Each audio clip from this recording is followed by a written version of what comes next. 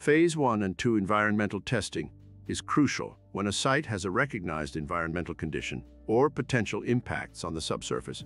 A Phase 1 site assessment identifies these conditions, while a Phase 2 assessment involves testing soil, soil gas, and groundwater to confirm and evaluate environmental impacts.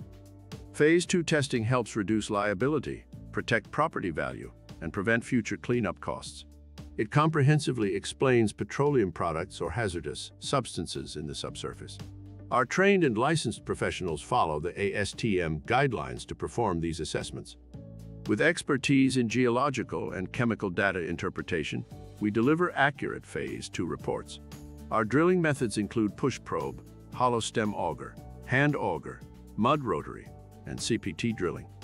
When you need a limited Phase 2 ESA or a full-scale assessment, Partner Engineering and Science is here to help.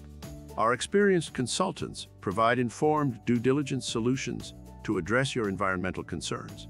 Call us at 1-800-419-4923 or visit our website partneresi.com for more information.